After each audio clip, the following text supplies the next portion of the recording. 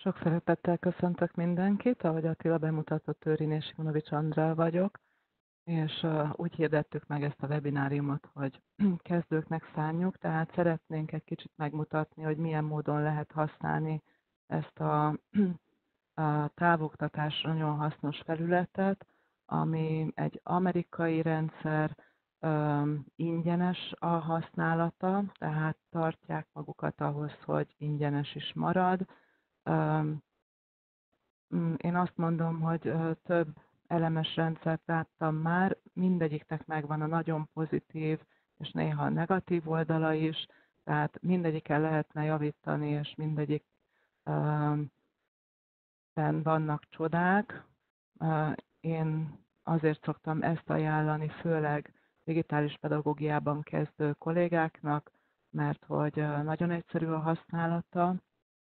Aki sokat Facebookozott előtte, vagy esetleg Facebook csoportokban dolgozott sokszor a gyerekekkel, azoknak maga a felület is nagyon egyszerű lesz. Jó, én most mutatnám akkor a fő oldalt nem rögtön a bejelentkezésre fogunk menni, hanem megmutatnám, hogy a rendkívüli állapotra való tekintettel a főoldalon, még mielőtt bárki is belépne, a távoktatáshoz próbálnak segítséget adni, és ők is összeállítottak itt egy eszköztárat. Igazából itt ötleteket lehet találni, ezek már angolul vannak, tehát itt nem is volt idő ezeket most lefordítani, viszont nagyon sok webináriumot felraktak, segítséget nyújtanak. Az egyik hiányosság az például a videokonferencia, tehát ezt is bemutatják, hogy hogy, hogy lehet ezt egy kicsit áthidalni, én akkor most vissza is mennék a, a, a saját oldalamhoz, mert hogy akkor én most be fogok lépni itt tanárként, és meg fogom mutatni, hogy mi az, amit én látok, hogy tudunk osztályt létrehozni, hogy tudunk feladatot kiadni, és uh, amint most látjátok, a Google Chrome a böngészőm, és uh, operába meg fogom nyitni a diákomnak a fiókját is, mindig létrehozok, tehát most megyek a sajátomba, közben mondom, hogy mindig létrehozok magamnak egy, egy olyan diákot, egy állandó diákom van, akit minden csoportba be tudok rakni, és ezáltal állandóan tudom monitorizálni a diák nézetet is. Tehát ez itt most az én oldalam. Tulajdonképpen a középső oszlop az mindig az idővonal, vagy a bejegyzések helye. Itt tulajdonképpen ha gyerekek látják ezt, majd megmutatom a tanulói nézetet is, akkor ők egyedül azoknak a bejegyzéseit látják, akik őket tanítják, vagy pedig az iskolai adminisztrátornak a kiírásait, mivel én több tanári fordítói csoportban is benne vagyok, egy kicsit tágabb az a kör, amilyen üzenetek ide vagy posztok szoktak érkezni. Ezt lehet szűrni egyébként úgy, hogy át lehet állítani csak osztálytevékenységekre, tehát ezzel ki tudom kapcsolni, hogy bárkinek a posztját, aki ismerősöm, vagy aki velem együtt egy másik csoportban van, annak megjelenjen itt a posztja, sőt tudok bejegyzéseket szűrni úgy is, hogy esetleg én voltam a posztoló, vagy a bejegyzés írója, vagy mások, időrendbe rakhatom, majd beszélni fogunk a beadandó feladatokról, szavazásokról, tesztekről, tehát ezeket is azonnal ki tudom itt szűrni. Tehát én most kiszűrtem más csoportokból, emberektől az üzeneteket, um, most csak ebben az egy um, oldalban vagyunk, tehát ahol az én diákjaimat tudom kezelni, és az első dolog, amit meg szeretnék mutatni az idővonalon kívül, hogy a baloldali oszlopban találhatóak a csoportjaim, osztályaim. Itt van most ez az Edmodo webinárium, amiről beszéltünk, hogy jó lenne, hogyha a résztvevők ti is be tudnátok csatlakozni. Ugyanígy történik a gyerekek felvétele a csoportokba, osztályokba is. Nagyon fontos, hogy aki esetleg nyelvet tart, vagy matematikát tanít, ugye mindig csoportokról beszélünk, viszont az Edmodo mindenféle tanulói egységet osztályként fog kezelni, a csoportok inkább közösségek, tehát például tanárok, egy projekten dolgozók, azonos érdeklődésű körűek csoportja lehet, ott a tagok nem ugyanolyan jogosultságokkal bírnak, tehát például nem tudnak feladatot beadni, megoldani, nem tudják az értékelést megoldani a csoportokban. Mutatom a másik oldalt is. Tehát a, a bal oldalon nálam népszerű beszélgetések fognak megjelenni, viszont a diáknál a nézet teljesen más. Itt a beadandó feladatait fogjuk, most lá, fogjuk majd látni, de akkor először is próbáljunk létrehozni egy csoportot, és miután ezt létrehoztam, majd arra fogom a résztvevőket kérni, hogy csatlakozzanak az elő, előbb már általam létrehozott Edmodo csoporthoz, tehát először megmutatom mindenkinek, hogy hogy lehet létrehozni tanulói csoportot, hoz létre egy osztályt, Megint csoportot mondtam, mert én leginkább csoportbontásban tanítok. Azt fogom írni, hogy próba csoport.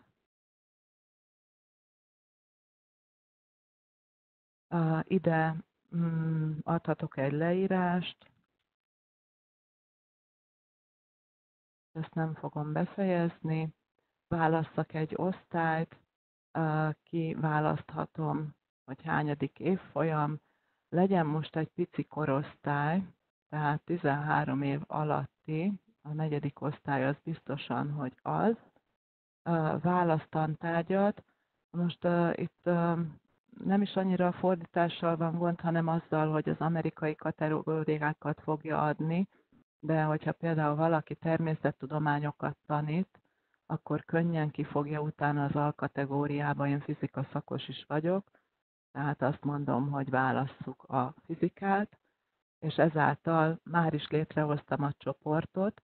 Egy jó tanács, hogy amikor a csoport vagy osztály nevét ide beírjuk, akkor mindenképpen a tantárgy neve legyen ott, tehát nem elég nekem látnom azt, hogy ez most a tizedikes, vagy kilencedikes, vagy ötödikes, negyedikes osztályom vagy csoportom, mert hogy a diákoknak majd megmutatom a, az ő nézetüket, ők együtt tudják látni az összes tanárukat, az összes tantárgyukat, tehát sokkal könnyebb uh, úgy uh, uh, úgy kezelni a felületeket. Tehát most valaki azt kérdezte, hogy de mi most diákként vagyunk-e bent, most a tanári nézetet mutatom, és utána pedig meg fogjuk nézni, hogy a diák mit lát. Tehát így hoztunk létre egy csoportot,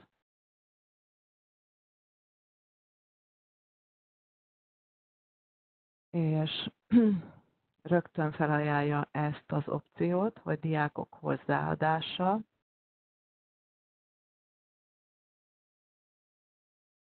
Itt többfajta módot is választhatunk, vagy egyenként, hogyha a gyermekek lét, rendelkeznek e-mail címmel, akkor mi magunk bevihetjük a nevüket a további hozzáadási módoknál. Választhatunk olyat is, hogy kóddal léptetjük be a gyerekeket, mivel én középiskolai korosztályt tanítok, ezért ezt a módot szoktam választani, és van még egy olyan lehetőség is, hogy röplap letöltése. Itt egy PDF-et fog generálni az oldal. Ez itt fölül angolul van, viszont utána az angol párhuzamosan a jobboldali oszlopban megjelenik a magyar fordítás is. Ezt azért tartom nagyon jónak, mert hogy abban a pillanatban, hogyha a diákjaim belépnek a, a csoportba, az osztályba, ezt elküldöm e-mailben a szülőknek, és ezzel a regisztrációs kóddal szülőként, tehát szülőként beregisztrál, megadja ezt a kódot, és abban a pillanatban látja mindazt a munkát, amit én a gyerekekkel folytatok. Jó? Én ezt szoktam választani, tehát sokkal egyszerűbb, ha előtte volt már valamiféle kommunikációs kapcsolat, mármint online kommunikációs kapcsolat, akkor elég egy e-mailbe kiküldeni ezt, a szülők regisztrálnak, tehát itt le vannak írva a regisztráció lépései, megadják az osztálykódot, és amelyik diákhoz kapcsolódik föl szülőként a szülő, onnétól kezdve a, a diák úgymond viszi magával ezt a szülőt, tehát bármelyik tanár, bármelyik tantárgyához, osztályához, csoportjához beveszi uh, rögtön a szülő is minden tevékenységét látni fog. Jó? Tehát most vegyük úgy, hogy létrehoztuk ezt a, a csoportot, vagy osztályt. Én visszamegyek most a kezdő lapra, tehát a felső sávban van egy navigációs sáv, a kezdőlap mindig azt fogja mutatni, amit a legelején mutattam, tehát középen az idővonal, a bal oldalon a csoportjaim, osztályaim, és a, a jobb oldalon esetleges a népszerű beszélgetések, cikkek, amit épp a rendszer felkínál nekünk. Tehát láthatjátok most itt a próbacsoportot. Én előzetesen már egy Edmodo webináriumot uh, létrehoztam. Most azt fogom megmutatni egy másik böngészőből, hogy hogyan tudtok erre felkapcsolódni. Tehát itt van az Edmodo webinárium, ennek az osztálynak a kódja 572 UJK, 572, kiírom a chat ablakba is, 572 UJK, és mutatom rögtön, hogy uh, hogy fognak tudni a gyerekek regisztrálni ezzel az egyszerű kóddal. Jó? Én most átmegyek egy másik böngészőbe, hogy a kettő ablakom ne keveredjen. Itt már ben vagyok egy diák nevében, de most ki fogok akkor lépni innét. És ismét látom az Edmodo felületét. Itt van fölül a regisztráció. Regisztrációnál most diákként fogok regisztrálni egy tanulót, tehát ezt ő maga is, vagy szülői felügyelettel is megteheti, hogyha előző, előzetesen nem vittük be a nevét, az e-mail címét. Ha előzetesen visszük fel az összes nevet, e-mail címet, akkor automatikusan e-mail értesítést fog kapni róla. Jó, tehát ide kéri most az osztálykódot, 572 UJK, és látja is, hogy ez egy létező kód. Elég, mindjárt írom fölüre, amit szoktam kérni a gyerekektől, hogy mindenképpen, tehát, hogy ez egy oktatási felület, semmiképpen ne becenevekkel regisztráljanak be. Én most azt fogom mondani, hogy próbapanka lesz a diákom. Panka próba. Jó. Választok neki egy felhasználó nevet, ezt ő választhatja meg tetszőlegesen. Tehát ez most próbapanka lett, és valami nagyon egyszerű. Tehát az e-mail ilyenkor opcionális, tehát hogyha nem e-mail címmel jelentkezik be, bár a 13 éves kor feletti gyerekeknél szoktam kérni, hogy kapcsolják hozzá az e-mail fiókot, mert hogy az értesítéseket e-mailbe is megkaphatják. Akik rendelkeznek esetleg Google fiókkal vagy Office 365-tel, nyugodtan kapcsolhatják az Add módot a meglévő fiókjukhoz is. Tehát én most a leges-legegyszerűbb esetőséget mutatom, amikor esetleg a gyermeknek még csak e-mail címe sincs, ad magának egy jelszót, legyen például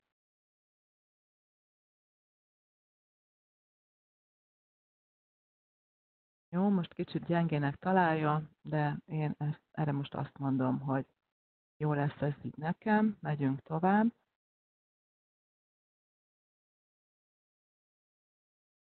És itt jön az, hogy már átugorhatjuk ezt a fajta szülői értesítést, de mindenképpen felhívja a gyerekek figyelmét arra, hogy, hogy a fiók biztonsága érdekében jó, hogyha egy szülőt is hozzá kapcsol, akár mobiltelefonszámot ad meg, akár e-mail címet.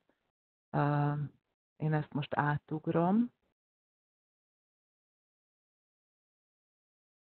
Jó, és ebben a pillanatban már a gyermekünk próbapanka bent van az osztályban. Tehát ez ennyire egyszerűen megtörtént, nem tudom, hogy esetleg valaki próbálta közbe diákként regisztrálni ilyen módon, tehát e-mail cím megadása nélkül, mert hogyha igen, akkor én rögtön rá fogok nézni a tanári nézetemre, tehát itt most a diák nézetét látjuk, és most én visszamegyek a tanári oldalamra, tehát itt vagyok a tanári oldalamon, felfrissítek, mert hogyha esetleg valaki bejelentkezett, akkor látni fogom. Megnézem, hogy hány tagom van. Jó, nagyon szép.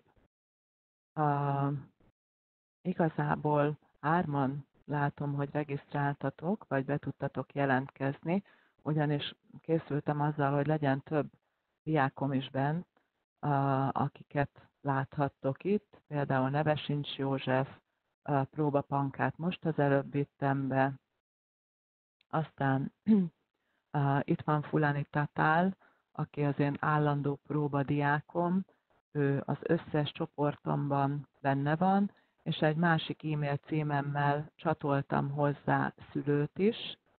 Na most itt rögtön érdemes megnézni, hogy ha esetleg innét akarjátok nagyon gyorsan elérni a szülőket, és a szülő kapcsol hozzá egy e-mail fiókot, akkor azonnal meg fogja kapni ezt az értesítést, tehát most nem fogok bemenni az üzenet ablakba, de innét azonnal üzeneteket tudok küldeni a szülőknek. Jó. A szülő hozzákapcsolását is választhatom, hogyha nagyon sokáig azt látom, hogy nem jelentkezett be szülő a gyermekhez, tehát hogyha előzetesen van egy listám osztályfőnökként, akkor én magam is bevihetem a szülőket, tehát ennek nagyon, nagyon sokfajta módja van, nagyon egyszerűen működik, és akkor innétől kezdve mutatnám, hogy mit tudok tanárként csinálni. Jó, tehát valaki írja, hogy én tanárként vagyok bejelentkezve a saját edmódomba, és úgy vettem fel a csoportot, megmutatom, mi történik ilyenkor.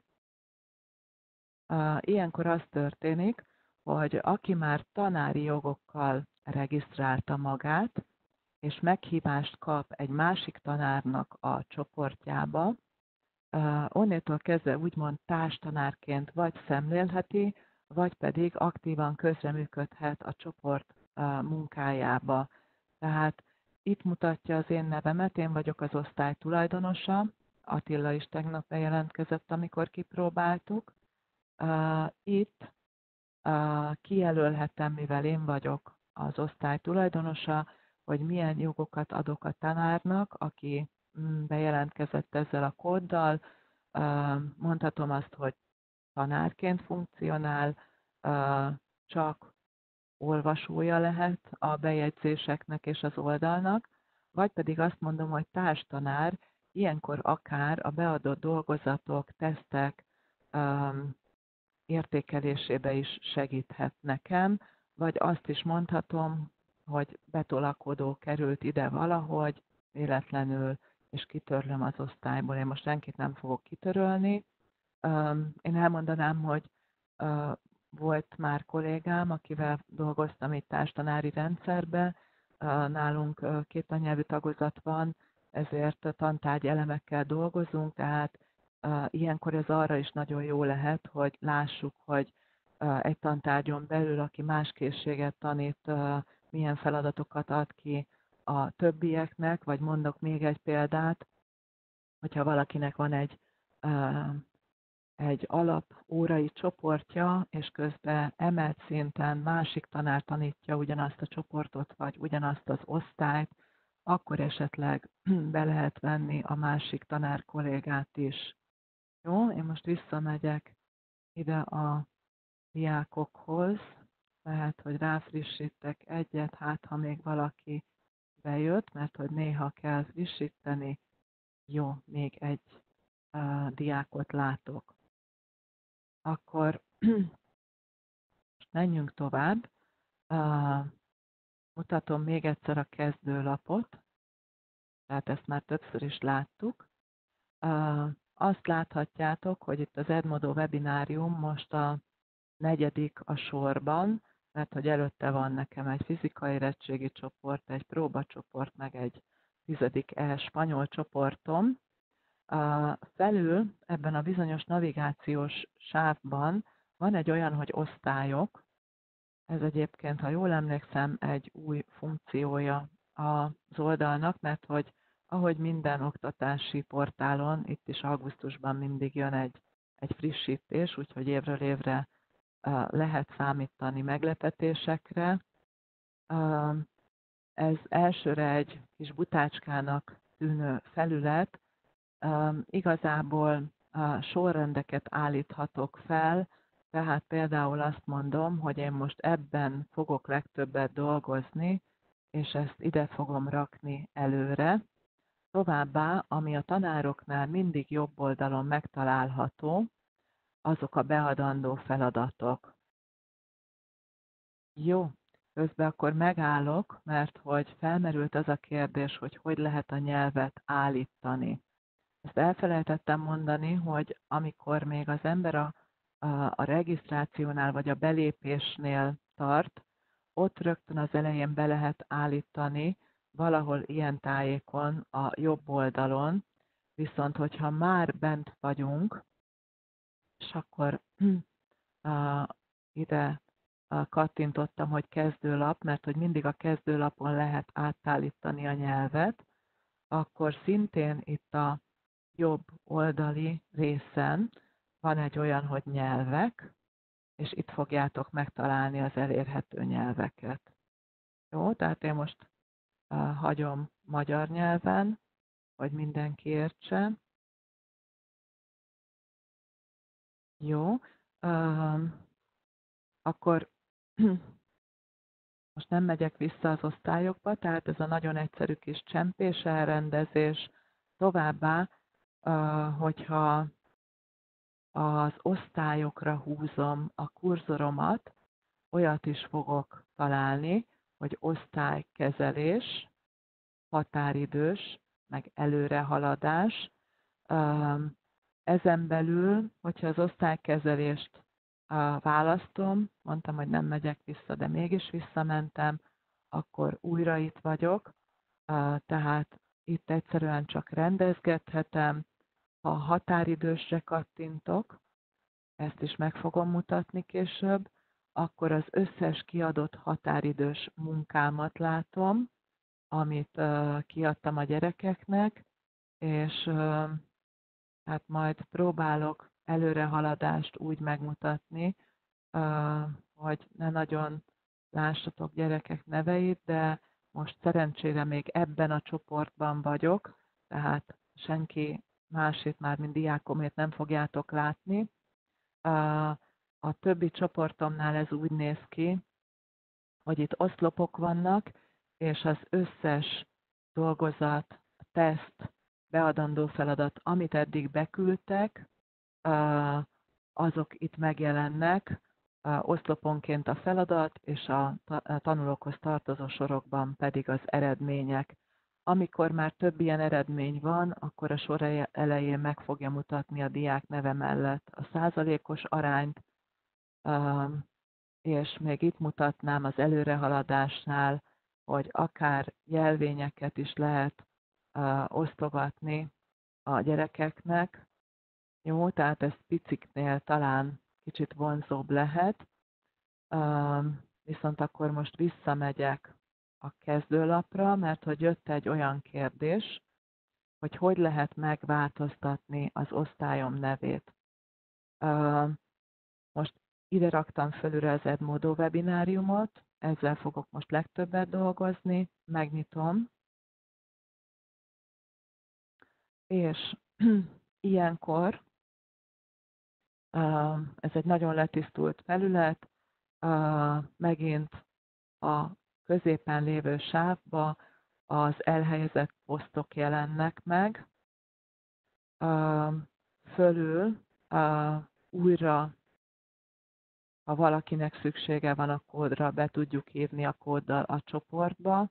Arra felhívnám figyelmeteket, hogy pár hét után ez a kód már nem fog működni, zárolni fogja az osztályt.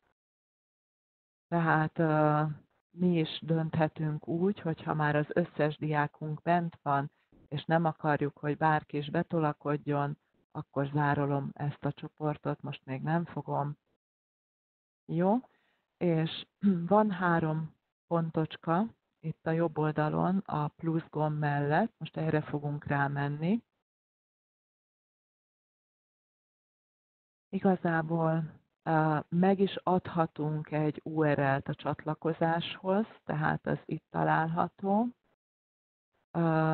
És most jön az, hogy ha vizuálisan egy kicsit el szeretnénk különíteni a különböző osztályokat, nagyon nagy lehetőséget nem ad ez a felület, annyit viszont igen, hogy különböző, tehát limitált számú, de különböző színeket választhatok a csoportoknak. Aztán mutatom, hogy még újraadja az emberek meghívása funkciót, és mutatom még a haladó beállításokat is. A haladó beállításoknál meg lehet változtatni a nevét a csoportnak. Én úgy állítottam be, hogy ez most nem tanulói csoport, hanem felnőtt oktatás, és most ezt a kategóriát találtam rá egyedül, hogy számítástechnika, tehát nem volt digitális pedagógia hasonlóak, Be, beírtam azt, hogy számítástechnika, és még egy érdekesség, a kollégáim is első regisztrációnál, vagy az első csoportok bevitelénél beleestek abba a csapdába, hogy abba gondolkozunk, hogy ha nekem egy angol csoportom van, vagy egy matematika csoportom, akkor azt én csoportként hozom létre, ezt mondtam az elején is, hogy vigyázzatok, tehát minden tanulói csoport, minden uh, osztály, uh, teljes osztály az Edmodóban osztályként kell, hogy szerepeljen, mert hogy itt sokkal több dolgot tudok velük csinálni, míg hogyha csoportokat hozok létre, azok általában uh, tanári közösségek lesznek. Jó, tehát én most azért nálatok nem a tanári közösséget, hanem a diákcsoportot hoztam létre, hogy meg tudjam mutatni, hogy milyen fajta leadandó feladatokat lehet kérni a gyerekektől. Mutatom még, hogy itt a haladó beállításoknál legyen alapértelmezett a tagok csak olvasható beállítása. Igazából én ezt nem szoktam bejelölni, én nem szoktam titkolni a szülők elől sem a bejegyzéseimet, sőt örülök annak, hogyha a szülők is tudják követni. Gondoljatok bele, hogy pici gyerekeknél ez, ez még fontosabb, tehát amikor ő mondjuk dolgozik ebben a, az osztályban, ebben a teremben, ebben az iskolában, akkor kisebb gyereknél segítség lehet az, hogyha a szülő is a saját regisztrációján keresztül én megnéztem a szülői oldalt is, most azt már nem fogom harmadikként megmutatni, szinte ugyanezt a felületet látja, mint a, gyermeke. Minden bejegyzés és válasz moderálása. Tehát ugye az elsőt nem szoktam letiltani, viszont sokszor elgondolkozom azon, hogy a harmadikat bejelölöm, minden bejegyzés és válasz moderálása, ugyanis jártam már úgy, hogy pont bemutató órán volt egy bejegyzésem, és hát az egyik gyermek vicces kedvébe volt, és valamit oda kommentelt nekem. Ugye ez reális időben megjelent ugyanúgy a táblán és az interaktív táblán, tehát mindenki látta. Tehát ha esetleg, de most ugye nem ebben a helyzetben vagyunk per pillanat, de osztálytermi helyzetben, hogyha órán az interaktív táblán nyitom meg a az edmódot, akkor lehet, hogy érdemes kikapcsolni ezeket.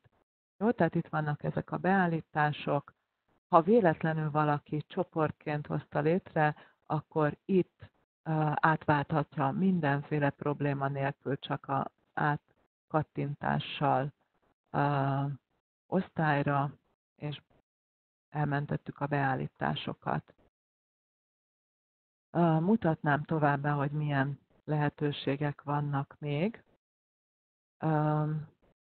Ugye most az én saját nézetemben vagyunk, tehát ide én tölthetem fel a gyerekeknek az anyagokat, a kiadandó feladatokat, a teszteket, és ide már írtam nektek egy üdvözletet, kedves diákok. Az idővonalban mindig a legfrissebb bejegyzések fognak megjelenni. A baloldali oszlopban láthatjátok a bejegyzéseket, tehát most ebben vagyunk. Ha a mappákra kattintunk, ez egy nagyon érdekes helye az oldalnak, ugyanis ilyenkor a tanárok ide elhelyezhetnek a gyerekeknek anyagokat, tehát mindjárt mutatom, hogy hogyan, és a tagokat pedig már mutattam. Jó? Tehát a mappák az egy azért nagyon fontos hely az osztályokon belül, mert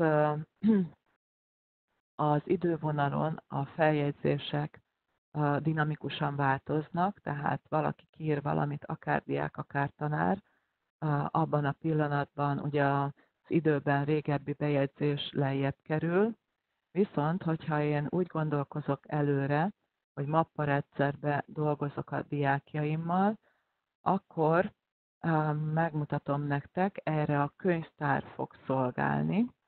Tehát én nem is tudom, azt hiszem, hogy 17 óta használom az Edmodot, így elég sok mappám összegyűlt ebben a könyvtárban. Azért nagyon szeretem, mert teljes könyvtárrendszerben lehet dolgozni. Tehát mutatok egy olyan példát, amit talán két évvel ezelőtt hoztam létre,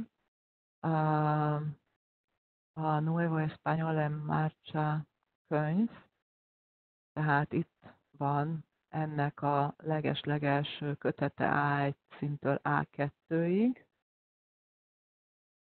és azt tettem, hogy ahogy haladtam a gyerekekkel előre, úgy minden egyes leckét mappaként létrehoztam itt, és minden egyes mappába még almappákat is elhelyeztem, ami azt jelenti, hogy például, hogyha találtam olyan feladatokat, amelyek online is kitölthetők, akkor bepakoltam a linkeket ebbe a mappába, megyek vissza ide a kettes leckéhez. Itt a téma például a, a ház volt, tudtam, hogy órán majd le akarom iratni velük ezt a képet, ezért előre már beraktam a mappámba, de akár uh, akár hogyha házi feladatot adunk, gyakorló feladatokat adunk, és nem akarom úgy kiadni, hogy beadandó feladat legyen, akkor ide nyugodtan berakhatunk nekik bármit. Jó, majd mindjárt mutatom, hogy mi a bármi. Tehát uh, itt például szókincset is uh, feltöltöttem nekik kvízlettel, tehát hogyha rá kattint a linkre, akkor rögtön a quizlet nyílik meg náluk. Tehát uh, szerintem eléggé uh, átlátható, hogy mi mindent lehet egy-egy ilyen könyvtárba bepakolni, és mondom, hogy nekem nagyon vonzó volt a mappa rendszere. Jó, tehát majd mindjárt meg fogok osztani veletek egy, egy mappámat, amit kimondottan az Edmodóról készítettem. Vannak közötte még nyers mm, leíratok is, például ezek a használati leírások tanároknak. Ezeket, amint kicsit jobban összeszedem, akkor PDF-be is fel fogom tölteni. Minden esetre csak azt mutattam meg, hogy itt is ebben az Edmodo mappában arra törekedtem, hogy ha tanároknak akarok cikkeket mutatni az Edmodo-ról, akkor ide pakoltam őket, használati leírásokat ide, hasznos videókat ide, és mutatom, hogy mi mindent lehet berakni egy mappába. Egy mappába be tudunk rakni fájlt, be tudunk rakni, tehát Word vagy bármilyen fájlformátumban, akár képfájl, tehát bármit be tudunk rakni, létre tudunk hozni új mappát, és amint láttátok az előbb, hogy például Quizlet linkeket be lehet emelni, de lehet az Redmenta, lehet Quizzes, bármilyen link, ha egyszer egy tananyagot elkészítesz, akkor utána évekig azzal ugyanúgy dolgozhatsz, ott marad, nem fogja senki elvenni onnét, és nagy pozitívum, hogy eddig azt mondják, hogy nincs korláttár, tárkorlát, bocsánat, tehát annyi anyagot töltök föl, amennyit szeretnék. Az egyetlen korlát az, hogy egyszeri feltöltésnél 100 megásnál nagyobb dokumentum nem mehet föl szerintem ez így is nagyon-nagyon pozitív. Jó?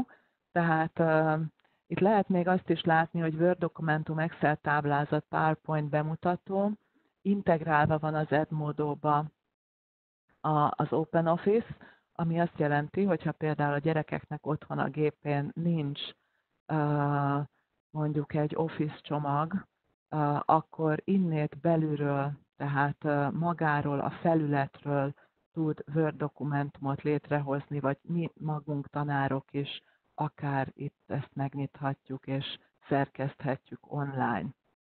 Jó, tehát ezek a feltöltési lehetőségeink, és saját teszt készítő programja is van, ami integrálva van a, a rendszerbe, ezt meg fogom mutatni, tehát azt is akár rögtön el lehet helyezni, bár én azt szoktam tenni, hogy ezeket külön mappába gyűjtöm, mert hogy a gyerekeknek, ha kiosztok a könyvtáramból egy mappát, a teszt még ne legyen benne.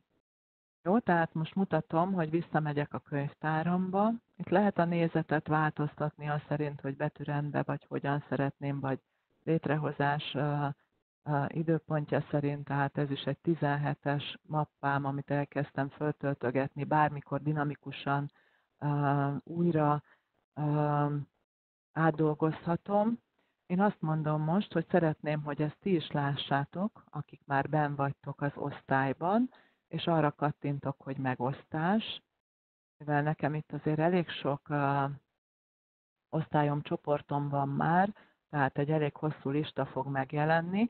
Ha egyszerre egy mappát több diáknak és több osztálynak is, jobban egy diáknak külön nem, több csoportnak, több osztálynak ki szeretnék osztani, akkor egyszerűen csak beklikkelgetem a megfelelő osztálycsoportot, és azonnal uh, meg fogja osztani ezt a mappát.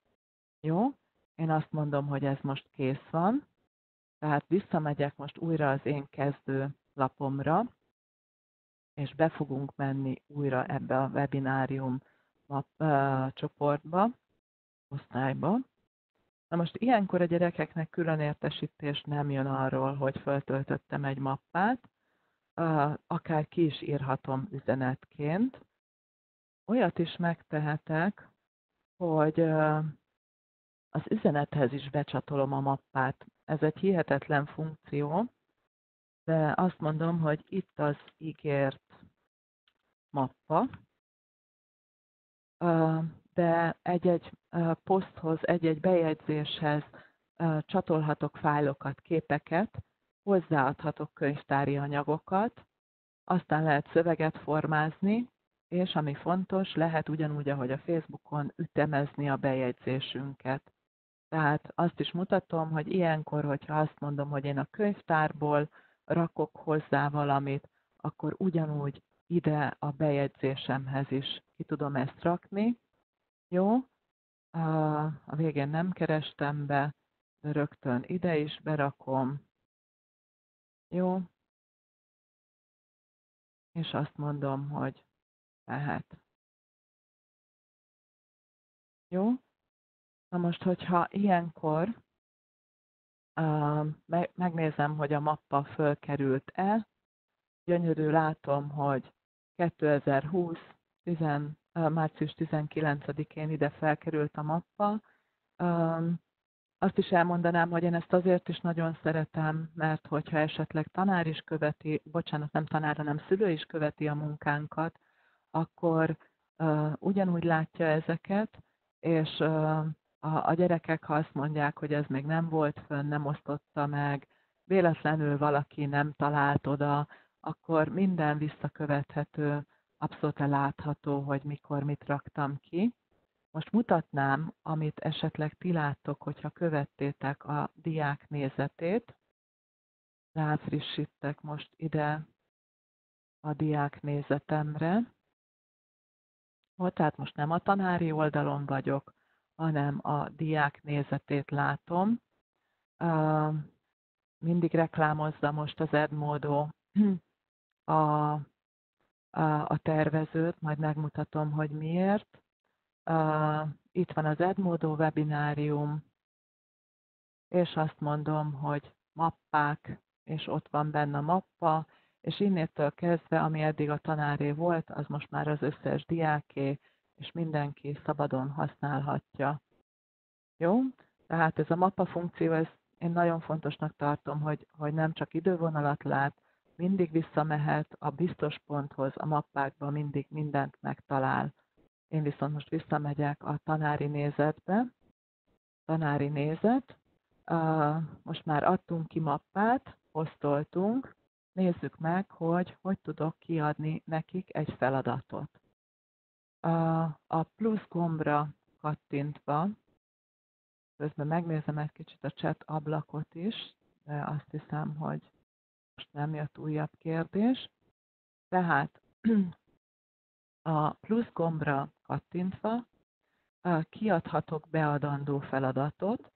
Ez a beadandó feladat, ez inkább egy, egy eszé feladat, vagy, vagy hosszabb lélegzetű feladat, jelen körülmények között nagyon sokszor olyat is kiadunk, hogy, hogy mm, van egy oldal, ahol láthatóak a feladatok, és csak azt mondom, pici gyerekekkel ez is nagyon jól működik, hogy írd le, vagy old meg a feladatokat, írd le a megoldásokat a füzetbe, fényképezd le, küld vissza a fényképet. Tehát beadandó feladatnak ez is teljesen megfelel vagy valaki rajzot tanít, megmondom, hogy mit kell elkészíteni, milyen rajzot várok tőle, készítsd el a rajzot, fényképezd le, küld vissza. Tehát ez nagyon-nagyon jól működik, majd meg fogom mutatni, hogy ezt hogy lehet kivitelezni. Most nem fogok szerkeszteni, tehát azt mondtam, hogy kezdőknek, tehát inkább csak a, a lehetőségeket mutatom meg, és készítem a videótutoriálokat, amit majd mindjárt kettőt be is fogok rakni a mappába. Most ma a gyerekeknek csináltam kettőt, hogy hogyan tudják a beadandó feladataitokat és a teszteket kezelni. Én most egy olyan beadandó feladatot fogok kiadni nektek, ami egy angol érettségi feladat volt, 18 májusában. Jó. Ilyenkor, hogyha én ezt már elkészítettem, akkor is újra szerkeszthetem, tehát beadandó feladat címe, érettségi levél, instrukciók, írd meg a melléket instrukciók alapján a levelet, 18 május emelt szintű érettségi, én most ide egy spanyol, lehet, hogy azt mondtam, hogy angol, de most már rájöttem, hogy egy, hogy egy spanyol nyelvű levélfeladatot raktam ide be.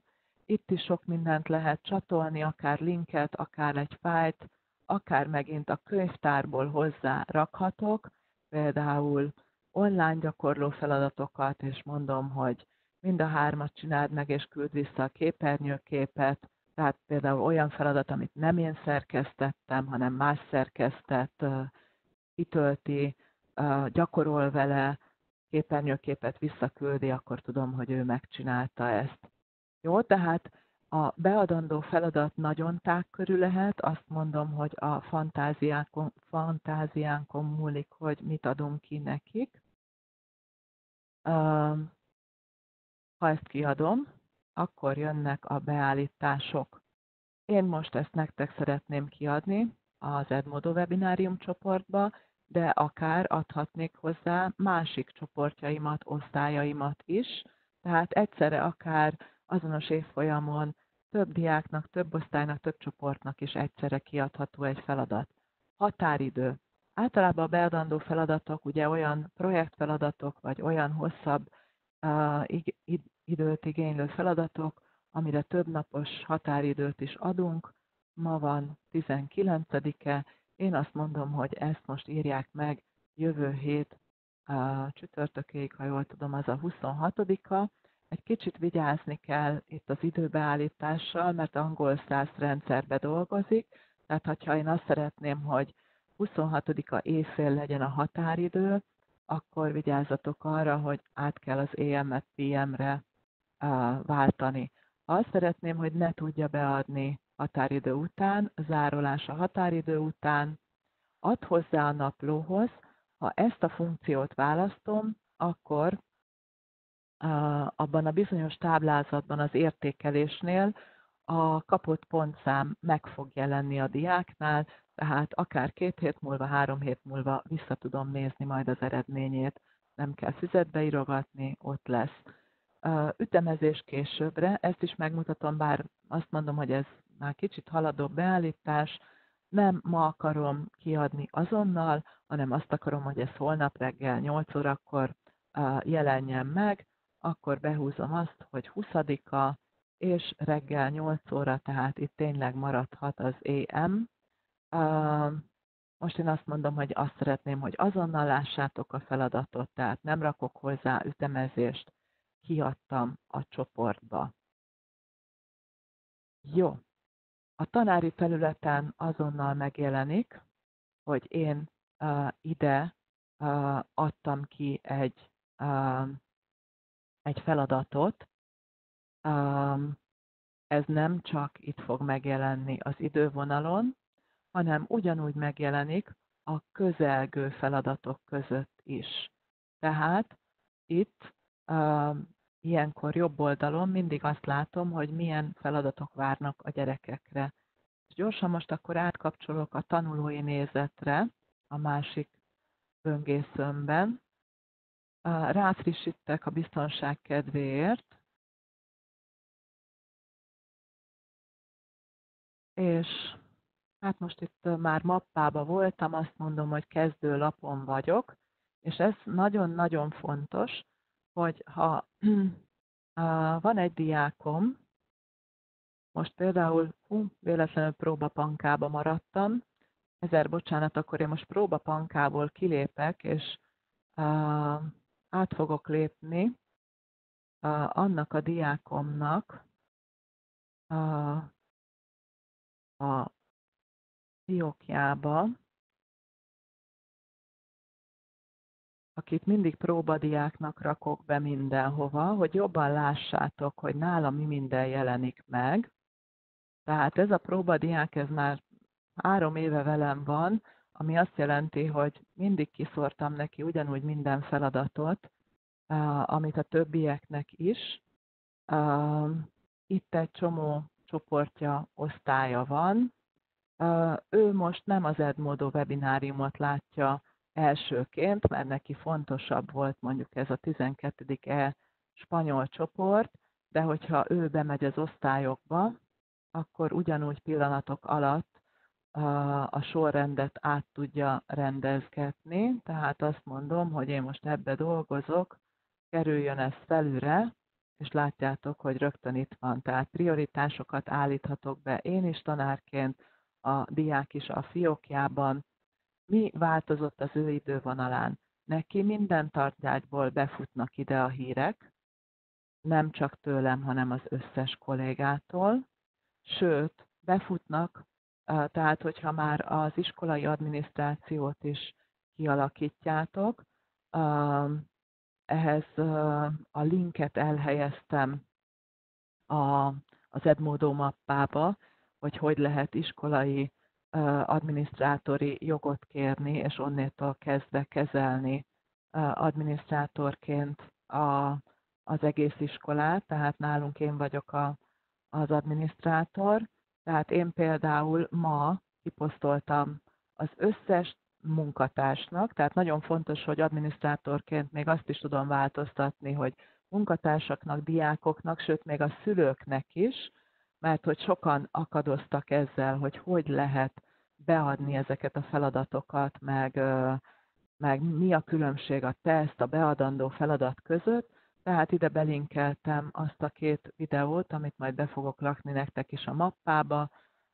Tehát a hírfolyamban náluk minden megjelenik, ezért ha ők egy tantárgyra akarnak koncentrálni, akkor itt a baloldali sávban kell kiválasztaniuk, hogy épp melyik tantárgyból szeretnék meglátni, hogy mit, milyen bejegyzést tett a tanár, van-e megoldandó feladat, tehát itt az összes tantárgy, itt minden tanárnak, minden tantárgynak, iskolai értesítésnek a bejegyzése meg lesz, és a jobboldali sávban, ugye ez a tanároknál uh, csoportonként lehet látni, amikor már kiadja az ember, de itt nála mindig a teljesítendő feladatok jelentkeznek. Tehát amit pirossal láttok, erről egyébként a a videót meg fogom osztani veletek, tehát amit ma készítettem a gyerekeknek, van egy rövidebb, egy hosszabb, amit nyugodtan oszthattok a gyerekeknek, hogyha esetleg Edmodóban dolgoztok. Tehát itt uh, egy csomó régi kiadott feladatot lát a gyerek, ezek már mm, rég lejártak, tehát pirossal mindig azok szerepelnek, a, amelyekkel már elkésett, uh, viszont uh, itt most túl sok van ahhoz, hogy uh, hogy megnézze a legújabbat, itt át kell ugrani a tervezőbe, de a bejegyzést is rögtön látja, tehát hogyha figyeli az idővonalat, akkor rögtön látni fogja itt is. Tehát a tervezőbe kétféleképpen ugorhat, vagy innét a közelgő beadandó feladatokról, tegyük most ezt, de ugyanoda fogunk jutni, vagy pedig neki is van egy ilyen navigációs sávja felül, tehát akár rögtön ide is ugorhat, ilyenkor az összes tantárgy minden egyes kiadatot, kiadott feladatát jelzi a rendszer, hát ezekkel már mind elkésett, viszont látom, hogy itt van egy ilyen, hogy érettségi levél, igen, kiadtam a fizikai érettségi csoportba is, és itt van az Edmodo Veminárium csoportomban, ha a gyerek célirányosan csak egy tantárgyra keres, akkor azt mondja, hogy jó, én azt szeretném látni, hogy Edmodo webináriumba mit adtak le, hoppá, ez itt egy megoldandó feladatom, március 26-ai határidővel, és megnyitom, elkezdem megcsinálni, ide a leadandó feladat kerül majd, itt viszont látom az instrukciókat, újra látom, hogy meddig kell leadni, ki adta föl a feladatot, mi az instrukció hozzá, megnézhetem ezt a mellékelt képet, ahol a levélíráshoz további spanyol nyelvű instrukciókat kapok, és többféleképpen is beadhatja a teljesített feladatot. A létrehozással ugyancsak működik ez a beépített szövegszerkesztő, prezentáció készítő, akár Excel táblázatot is, tehát nem teljesen olyan, mint az asztali alkalmazás, ha nem akar annyira szerkeszteni, hanem azt mondja, hogy egy rövid szöveges választ adok, akkor ide szépen begépeli, de azért mutatom, hogy milyen az, amikor gyerek esetleg annyira még PowerPointot nem használt, vagy esetleg nincs otthon Office csomag, és azonnal innét megnyithatja, és szabadon szerkesztheti, amit itt elkezd szerkeszteni, automatikusan mentésre kerül, tehát erre föl kell hívni a figyelmüket, abban a pillanatban, hogyha nem ír bele többet, akkor így fog maradni, és azonnal csatolja a rendszer ehhez a beadandó feladathoz. Azt mondja, hogy én még gondolkozom ezen, megcsinálom szépen nyugiba saját gépemen, és amikor készen vagyok, újra megnyitom majd ezt, és feltöltöm a gépemről a fájlt. Ez is egy verzió, ha elhelyezik mm, felhőbe, linkkel is meg tudja adni. Van nekik egy hátizsákjuk, amibe ugyanúgy pakolázhatnak dokumentumokat, munkákat, mint ahogy a tanárok a mappába. Tehát, hogyha például egy gyűjtő munkát adunk nekik ki, akkor csinálhatnak annak egy mappát, abba berakhatnak linkeket, dokumentumokat, amit csak szeretnének, és ugyanúgy ezt is beadhatják teljesítésként. Jó, én akkor most mutatom, hogy én ezzel letudtam ezt a feladatot, be, beküldöm, készen állsz beküldeni, igen, beküldöm, és innétől kezdve most azt is megmutatom, mindjárt akartam ugrani a, a, tanári nézetre, hogy újra beküldheti, mindig a legutolsó verziót fogja a gépszámon tartani, Erről mondom, hogy a gyerekeknek csináltam kis videót, amit a mappába belinkelek, tehát megmutatom azt is, hogy ilyenkor a tanár mit lát, tehát most tanári nézetben vagyok. Jó, ráfrissítettem, és azt látom, hogy egy beadvány már érkezett, ezt ilyenkor azonnal itt a helyén tudom kezelni. meg tudom nyitni, tudom értékelni, tehát itt látom, akár ezen a felületen belül online megnyithatom, akár le is tölthetem magamnak, hogyha el akarok mélyülni benne, és utána jön az, hogy azt mondom, hogy szerintem ez nem volt annyira jó munka, sőt, nagyon szegényes volt. 50 pontot szántam erre az egész munkára, ebből ez csak 36 fog érni, és akkor itt beírom, hogy 50 pontból 30. Ha ezt lementem, akkor azonnal a diák is látja az értékelését. Vagy pedig azt teszem, hogy kommentálom, és leírom neki, hogy legközelebb erre vagy arra jobban figyeljél. Ha úgy érzem, hogy nagyon összecsapta, azt is mondhatom neki, hogy add be légy szíves újra, mert hogy ezt nem fogadom el a határidőn belül van bármikor, ezt is megtehetem. Jó? Tehát én most ezt nem mentettem le. Uh, mutatom még azt is, hogy én magam is látom, hogy melyik osztálynál hány kiadott feladatom van, ami még függőben van. Tehát az osztályok panelre kattintva itt oldalt is meg fogom látni, tehát a tanár is több pontról, több helyről rögtön látja, hogyha valamiféle javítandó feladata van. Az idő fogyta miatt, mivel most van 8 óra, a tesztkészítést nem fogom tudni bemutatni, de ki fogok osztani nektek egy tesztet, saját beépített tesztkészítő programja van, tehát ugye ben vagyok a webináriumban, és a plusz gombocskával adhatok föl egy újabb feladatot. Én most nem létrehozom a tesztet, nem szerkeszteni fogom, hanem, hanem egy meglévő feladatot fogok kiadni, méghozzá az a címe, hogy játszunk a színekkel, ez betöltése, ilyenkor újra tudnám szerkeszteni, átírni benne bármit, hogyha, mert hogy itt van az összes tesztkérdés, ami szerkeszthető.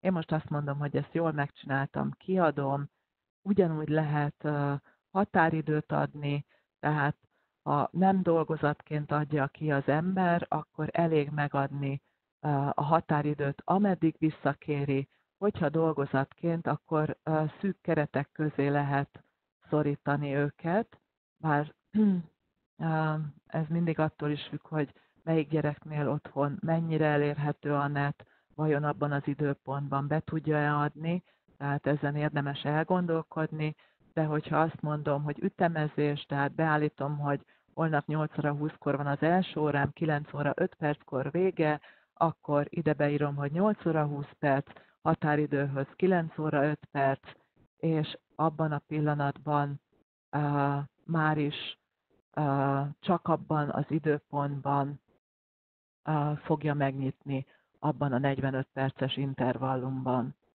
Jó? Tehát ütemezést most nem kérek, kiadom a csoportnak. Közben látom, hogy megmutathatom akár a tesztet is. Jó? Tehát azért, ha gondoljátok, majd kipróbálhatjátok ezt a tesztet, utána, amikor már véget ért. Tehát értem, elment, megint átkattintok a tanulói oldalra. Jó, frissítek egyet, kezdőlap. Ezt most csak azért mutogatja mindig itt felül, mert hogy ugye gyerekeknek most online sokkal több feladatot adunk ki, tehát hozzá kell szokniuk ahhoz, hogyha van egy kiadott feladat, akkor azt ne üzenetbe, ne más csatornán, messengeren, e-mailbe küldjék vissza, tehát itt a tervezőt reklámozza, mert hogy a tervezőben igenis megjelenik már a játszunk a színekkel teszt, amit hogyha elkezd kitölteni, tudja, hogy 20 perc áll rendelkezésére.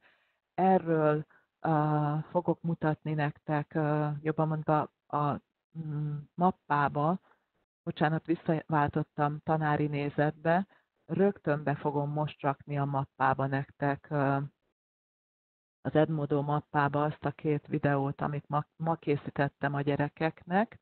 Azt mondom, hogy videók, Russell Stannardnek sok angol nyelvű oktató videóját helyeztem ide el. Jó, a régi platformról magyarul készült videókat is beemeltem, tehát mondom, hogy itt volt egy arculatváltás. Tehát én előre itt már megnyitottam, vagy beírtam keresőbe ezt, hogy Edmodo beadandó. Tehát csináltam a gyerekeknek egy ilyen kis két perces videót arról, hogy hol látják meg ezeket a funkciókat. Most ki másoltam a linket, és a videók mappába vagyok. Azt mondom, hogy egy új linket adok hozzá. Itt van a YouTube link, és azt mondom, hogy Edmodo beadandó, és abban a pillanatban már a ti könyvtáratokban is ott lesz ez a videó, de rakjunk föl még egyet, ez volt a részletes, készítettem egy nagyon rövid két perceset is, ennek is kimásolom a linkjét. Jó, és bemásolom ide a mappába, megint linkként fog szerepelni, bemásolom a linket, aztán azt mondom, hogy Edmodo beadandó. Rövid, hozzáadom ezt is, innétől kezdve már megjelenik a videó, amit a gyerekek, meg ti is utána meg tudtok nézni, gyerekekkel megosztani, hogy hogy lehet ezeket kitölteni. És akkor úgy láttam, hogy megmutathatom még a tesztet is, a teszt készítését. Nézem, hogy hol vagyok, diák vagy tanár nézetbe. Jó, tehát most tanár vagyok. Megint azt mondom, hogy ebben a csoportban szeretnék elhelyezni egy tesztet. A teszt annyiban más, mint a beadandó feladat, hogy a hagyományos teszteknek megfelelő feleletválasztós, igaz-hamis, párosítós, tehát nagyon egyszerű feladatokat tudunk így elkészíteni, tehát azt mondom, hogy teszt létrehozása. Most nevetni fogtok, de azt fogom adni neki címként, hogy állatok. Azt mondom, hogy töltsd ki a tesztet, vagy old meg a feladatokat. Jó, itt közben rögtön menti, tehát lehetett látni közben. Meghatározhatom, hogy mennyi időt, mekkora időkeretet adok. Ez az elején nagyon stresszelte őket, mert hogy ketyeg az óra abban a pillanatban, hogy elkezdi kitölteni a tesztet. Ez egy nagyon rövidke teszt lesz, azt mondom, hogy 15 perc. Mutassa az eredményeket a tanulóknak a befejezése után, igen, abban a pillanatban, hogyha beadja, rögtön látja a pontszámát, mivel itt a gép automatikusan persze az elkészített feladat alapján uh, kiértékeli, zárolás a határidő után mindenképpen, tehát hogyha én azt mondom, hogy holnap utánig kell megcsinálni, akkor nem fogadom el. Egyébként ilyenkor, ha valaki kicsúszik a határidőből, már csak üzenetet tud küldeni a tanárnak. Vagy pedig, ha véletlenül engedi a rendszer beadni, akkor amikor javítom, akkor, akkor látom, hogy késve adta be, és esetleg szankcionálhatom. Véletlenszerű kérdések, ha egy mondjuk informatika terembe, vagy digitális tanterembe, osztályterembe iratjuk a dolgozatot, mindenképpen érdemes a véletlenszerű kérdéseket bepipálni, mert hogy innétől kezdve ugye nem ugyanazt látják a diákok. Tehát ezek a teszt leírásához tartozó részletek, tesztkérdések. Gyorsan átfutom, hogy milyen lehetőségeket ad. Több lehetőség, ehhez a tesztkészítéshez is most egy nyersanyagot találhattok a mappába, amit megosztottam veletek, tehát annyira részletekbe nem fogok menni, mert ott lépésről lépésre le van írva, és kicsit még félkézzel nyugodtan megnézhetitek. Tehát igaz-hamis több lehetőség, rövid válasz, aztán tölts ki az üres részeket, amit leginkább megmutatnék, mert ugye tölts ki az üres részeket, az szokott sokszor problémát okozni. Például azt mondom, hogy a tojást adó házi állat a ilyenkor csak egy alsó vonást kell írnunk, és nagyon kell vigyázni arra, hogy itt tényleg nagyon egyszerű feladatot adjunk ki, mert hogy csak azt az egy szót fogja elfogadni. Tehát, hogyha a tyúkot véletlenül valaki rövid úval fogja beírni válaszként, akkor azt már nem fogja elfogadni. Tehát a rövid válaszos feladatnál erre azért egy kicsit figyelni kell. Még csak annyi, hogy minden feladatrésznél újra lehetőségünk van fájlt csatolni, linket csatolni, tehát hogyha egy YouTube videóhoz kapcsolódó feladatot adunk, vagy, vagy egy hosszabb szöveghez kapcsolódó bár én azt mondom, hogy a, a teszteknél, az ilyen kiadott feladatsoroknál inkább a, az egyszerűségre törekedjünk, a beadandóknál pedig inkább lehet a komplexebb feladatokat kiadni, újra könyvtárból is hozzáadhatunk. Amint megvan ez az egy feladatunk, beállíthatjuk, hogy hány pontot, tehát lehet súlyozni az egyes feladatrészeket, új kérdés hozzáadása, csak azért tényleg, hogy legyen kettő kérdésünk, vagy kettő feladatunk, gondoltam, hogy legyen egy párosítós, közd, vagy húzd össze, hát hogy itt leginkább a párokat, húzd össze a párokat, és akkor arra gondoltam, hogy olyat fogok mondani nekik, hogy kakas. Tehát ilyenkor a válasz megadása nekem még egy sorba fog kerülni, természetesen náluk már nem. Kakas és tyúk, aztán legyen az, hogy csődör, meg legyen az, hogy kanca, meg még egy harmadikat is írjunk be, például az, hogy kan, meg koca. Jó? Itt is akár adhatnánk hozzá bármit. Ha úgy gondoljuk, hogy ezzel készen vagyunk, a kérdésbankból is hozzáadhatunk, viszont itt nem lehet lopni, mint a Redmentába, hanem csak az általunk előzőleg elkészített kérdéseket tudjuk beemelni a tesztjeinkbe. Jó, tehát én ezzel készen vagyok, azt mondom, hogy kiadom.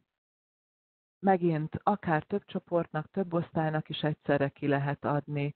Megint beállíthatom az időt, a határidőt, zárolhatom, megint összekeverhetem a kérdéseket, és amit előbb is elmondtam, hogy azt is választhatom, hogy későbbre ütemezem, hogy holnap-holnap után jelenjen meg, és hogyha úgy választom meg a határidőt és a, a, az ütemezést, hogy pont egy 45 perces órába beleférjen, akkor akár egy bizonyos órára is, egy időpontra is ütemezhetem, és abban az időintervallumban megírják, 15 percük van, viszont abban a pillanatban, ha elkezdték, ketyeg az óra, és 15 perc után kidobja őket. Jó? Tehát mégsem ütezem, ütemezem a dátumot, azért egy határidőt be kell állítani, és kiadom ezt most ismét ennek a testcsoportnak, amiben dolgoztunk. Jó, és itt már nálam megjelenik, ha átmegyek ismét diáknézetbe, akkor ott is uh, uh, meg fog jelenni, közben nézem, a kérdéseket. Ha például ilyen párosítós kérdésnél négy darab van, és négy pontot állítok be, akkor ad részpontot. Eleve úgy van a párosítós feladatnál, hogy a jó párokért lehet beállítani a pontot, tehát igen, fog részpontot adni. Esetleg van-e még kérdés, mert hogy szerintem most kezdőbe ennyit lehetett belesűríteni,